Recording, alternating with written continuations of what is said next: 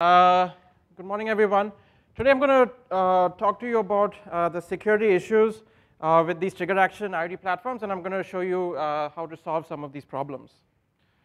Okay, so say that you bought two new smart devices. You bought this uh, Google Nest smoke detector, and you bought an LG oven, and these are smart devices, so you can actuate them over the internet. And generally, this happens through a cloud service that is being run by the device manufacturer. So Google is going to run this uh, Google Nest service, and LG is going to run their own service. And as a user, you know, you're going to use some kind of client, like a smartphone app or a browser. You're going to uh, create an account on these cloud uh, services and then go and actuate these devices. But this is still in a silo, right? The whole Internet of Things is about creating these connections between devices so that you can gain uh, interesting automations. And so this is where the notion of a trigger action uh, platform uh, comes in. Uh, it basically breaks down these silos and enables interconnections between uh, these devices. So as before, a user, as a user, you'll create an account on a trigger action platform, um, and you'll do the additional step of connecting uh, these cloud services to your trigger action platform. And once you do that, the platform provides you as an end user the ability to write your own simple trigger action rules of the form if condition, then action. So here is one example. If smoke is detected, then turn off my LG oven. And this has broken down the silo, and really, I, this, this I feel is, is a good definition of what the Internet of Things is supposed to be doing. Um, there are many such uh, platforms. There's a whole industry uh, surrounding these trigger action platforms. I've shown you a few examples here. And sort of the canonical example is known as if this then that, or is pronounced as IFTTT. Uh, and to give you an idea of how popular this system is, uh, it has more than 500 IoT and non-IoT services that it works with, and it has uh, millions of users and millions of indi uh, individually created trigger action uh, rules. So slightly more technically, uh, the way the trigger action platform interfaces with these IoT services is through the OAuth protocol. Specifically, a large number of them use the OAuth 2.0 protocol. And so if you think of this at the scale of a service like IFTTT, um, platforms like IFTTT, these trigger action platforms, become veritable uh, gold mines of these OAuth bearer tokens. Um, and so then as security researchers, the natural question to ask is, uh, what if this web application, you know, the trigger action platform is just a web app, what if that web app is compromised? Um, and that is kind of the central question we are looking at in this work. And uh, sort of the answer may be obvious if the, if the, if the platform is compromised, uh, then the attackers can steal these OAuth bearer tokens and then invoke actions arbitrarily. So they can turn off the oven, they can turn it on, they can turn on a lawnmower, they can open your doors, they can do whatever they want, as long as you've connected this to the trigger action platform. So this is the first level of risk. The second level of risk is that even, even if these, uh, it's possible that these OAuth tokens uh, can be overprivileged, uh, as our experience with implementing uh, systems on top of uh, OAuth shows. And we actually did a study, uh, a, brief case study of whether this actually happens in the context of IFTTT. Um, the details of this study are in the paper, but the, the high-level uh, summary is that uh, we studied popular channels, and we found that uh, the tokens that IFTTT has actually, um, um, they are overprivileged. And you may think, OK, is this overprivilege bad? Um, and, and it is. So like I'll give you a few examples. So using stolen OAuth tokens that IFTTT is using, um, of, of, the same scope that IFTTT is using, uh, we were able to re refer, reflash the firmware of a particle chip with the HTTP, single HTTP call. We were able to delete Google uh, files in Google Drive, and we were able to turn on and off devices arbitrarily. And the bottom line here is that these operations are not triggers and actions. So users cannot write rules with these operations. If does not offer that facility, and this is clearly overprivileged. So what is the upshot of all of this? The upshot is that really we have to begin to rethink our threat model, and I think a more appropriate threat model for these trigger action platforms is that they are untrusted. And in such a case, the core security guarantee is how can we guarantee that these actions are really executed as per users' intentions and their, their, their user rules. So we could try several things, right? So maybe we could try using short-lived uh, OAuth tokens. This is an interesting idea, but um, the problem is that it requires timely detection, and recent experience has shown us otherwise. We could try to do some kind of rule analytics or anomaly detection. This is good defense in depth, uh, but it does not uh, address the root cause of the problem. We could try to use a fully decentralized uh, architecture. So like every, every user will run their own little trigger action platform. And so then by this way, you've, you've removed the single valuable target, but then you don't gain the benefits of having uh, um, a, a, sort of centralized cloud service. You don't get high availability, reliability, and all that good cloud stuff. Finally, you could try using finely grained tokens. Uh, this limits privilege, but you know you have usability issues. So our solution kind of takes inspiration from this notion of uh, decentralization and finely grained tokens, but it requires overcoming several uh, technical challenges. The first is that even though finely grained tokens limit privilege, uh, attackers can still misuse them in, in isolation. And, and so our solution to tackle this is to introduce a notion of uh, verifiable triggers and uh, rule-specific tokens. And basically, the, the guarantee at a high level is that if I give you, if you're a bearer of a token, uh, you can only invoke the action associated with that token if you can prove that the corresponding trigger actually happened within uh, some reasonable amount of time in the past.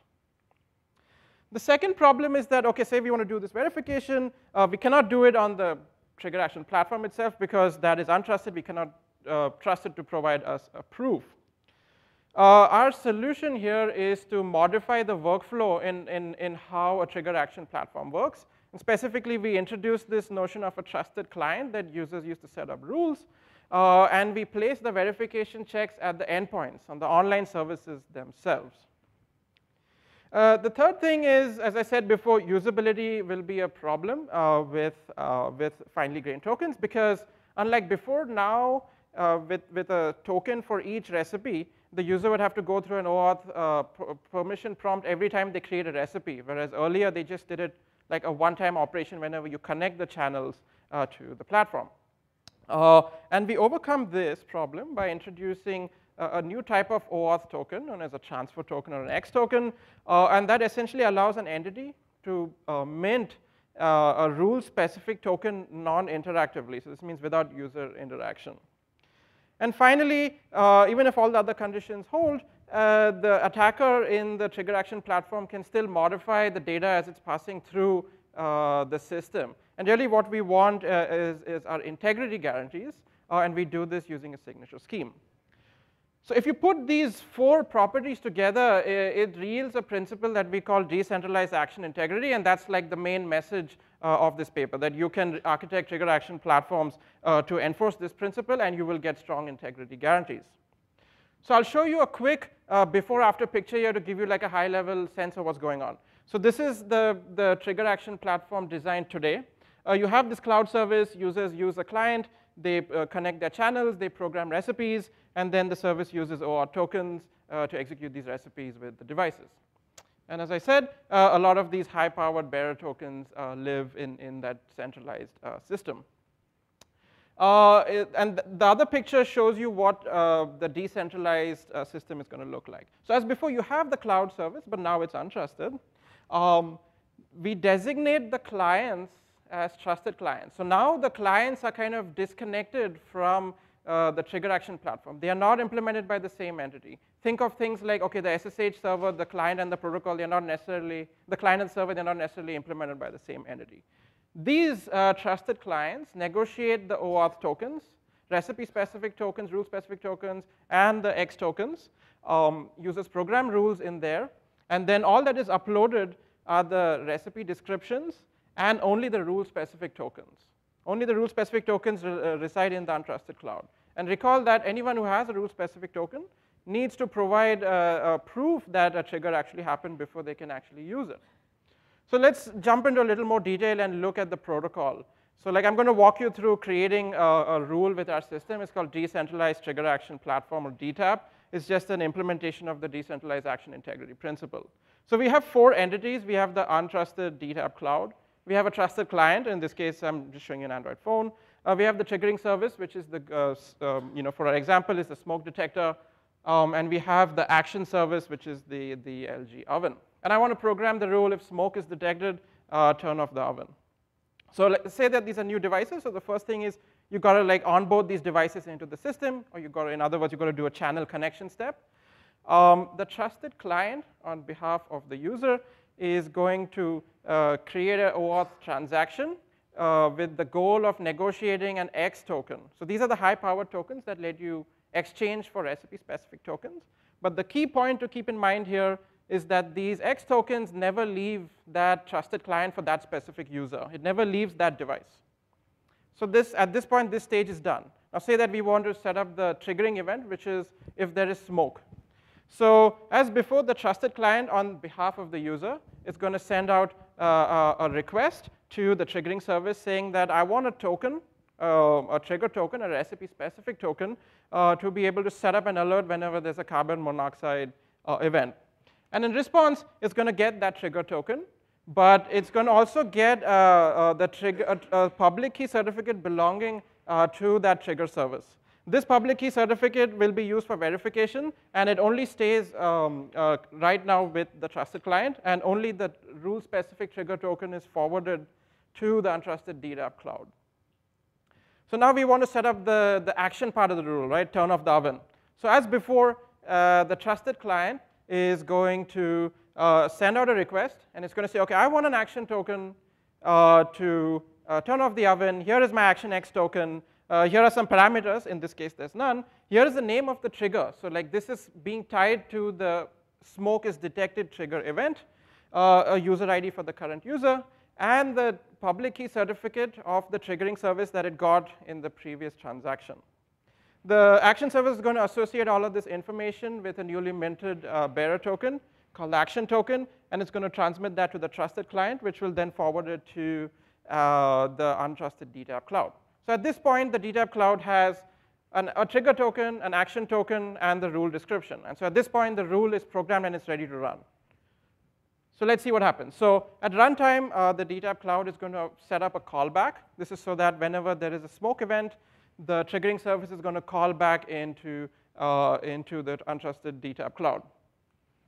Uh, and then it forwards. Uh, so whenever there's a smoke event, uh, there's going to be a trigger blob generated by the trigger service the untrusted DTAP cloud is simply going to forward that uh, and invoke the oven of action. And the trigger blob has everything we need to do a verification. So here is what it has. It has a time the, the trigger blob was minted, a time to live, a name of the trigger, some trigger data, and a UID. And all of this is signed using the private key uh, of the triggering service. So to verify this, um, first, I mean, of course, we have to ensure that the action token exists. This is happening on the action service. Then using the public key uh, certificate that was sent to the action service earlier, uh, it's going to verify this, uh, this signature, and then it's going to do a bunch of sanity checks uh, on the blob itself. You know, so like, for example, verify that time moves forward, verify that there's no replay attack, verify that this is really the trigger that the user programmed. Finally, uh, it does two steps to verify that you know, it's really calling oven.off and any optional parameters. So at this point, what we have done is we have done an end-to-end -end, uh, verification of the rule uh, independently of the semantics of the rule itself. So all we are doing is checking time values and signatures. We don't depend on the semantics of the exact rule, but it, it kind of verifies that the rule executes correctly. We implemented this as a drop-in OAuth library. So like people who want to use this service simply replace a decorator in their Python code with ours, uh, and they get this function. Uh, in terms of our evaluation, uh, we, we use this rule, which is kind of representative because it has various conditions and transfer of data. Uh, the first thing we uh, evaluated was the transmission overhead. Uh, and we find this to be minimal. I mean, our OAuth tokens are slightly larger, but not by much. It's around seven and a half kilobytes. Uh, we evaluated latency, verification latency, and although network uh, dominates most of it, the verification latency is around 15 milliseconds. And practically, this translates to a very uh, small reduction in, in throughput. Uh, we did 10,000 trigger activations at a concurrency level of 2,000 based on our calculations of how the IF platform works. OK, so in summary, uh, these, cyber these emerging trigger action platforms stitch together various cyber physical services, but they pose a long-term large-scale threat if they are compromised. And what we have shown you here is the, the decentralized action integrity principle that uh, gives you strong integrity guarantees, and it is based on, on the notion of verifiable triggers and X tokens. And finally, this, uh, the, the performance uh, impact is, is quite minimal, so it's a practical system. Uh, finally, this represents a sort of a first step towards uh, a clean slate uh, redesign of, of IoT platforms and a first step towards actually deprivileging the cloud as they are used in current IoT systems. Um, um, and this is kind of our vision for how these trigger action platforms uh, should work in the future. So thank you for your attention, and I'll uh, take questions.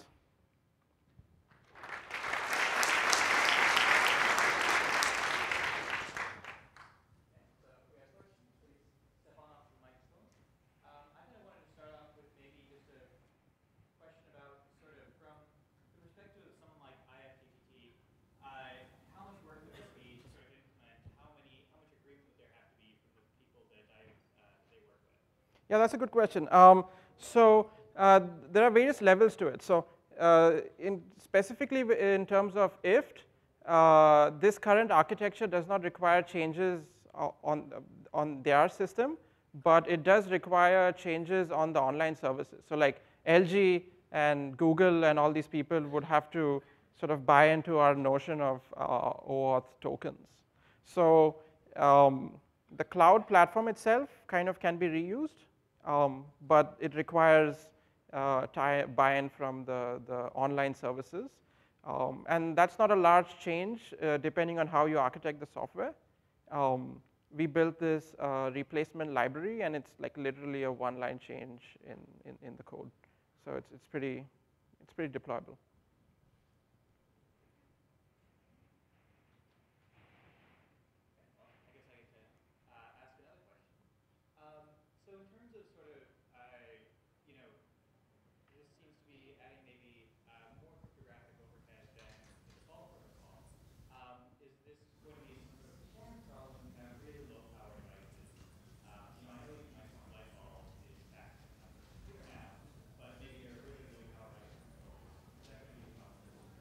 Yeah, that's interesting. So um, we do not, so the protocol does not run on the actual device. It's running on the cloud service that connects to the device. So all of the proofs and all of that is generated in the cloud service. So you wouldn't have that cost on the device itself. Now that, that, I'm not saying that there may not be a design point where you run it on the device. There might be, but we haven't found uh, uh, the need to do it yet. Uh, so in the presentation, you showed like one uh, rule case. So what would be like if I want to chain multiple rules together? If you want to, sorry? If I want to chain multiple uh, rules together, mm -hmm. how does the verification look like? Yeah, so uh, the, the, the model for most trigger action platforms is to have if triggered, then action. Um, the chaining can happen if uh, the user chains it, through, chains it through a physical device. And so then at that point, the verification just scales naturally. So you verify rule one, you verify rule two. That just happens naturally. There's no, no specific uh, additional steps we need to take. Hi, this is Soteris UIUC. Uh, so during the protocol explanation, you said that we trust the client of the user. And let's assume that client is a smartphone. What's the level of trust that we have to have in that platform? Uh, do we, are we assuming to trust all applications that run on a smartphone, for example? Yeah, so um, we are assuming that the platform the trusted client is running on is not compromised. So like if it's like a smartphone, like Android or something, uh, it's not compromised. Uh, as in like the, the attacker does not have root access or cannot inspect the, the virtual memory of the trusted client uh, process because all of the high-powered tokens would live in that virtual memory. Um, so that's one level. Uh, our trusted client um, uses hardware-backed key stores whenever to encrypt the token at rest. Uh, so um, um as long as the key store is functioning and used correctly, uh, that's another assumption right there. Thank you. Thank you.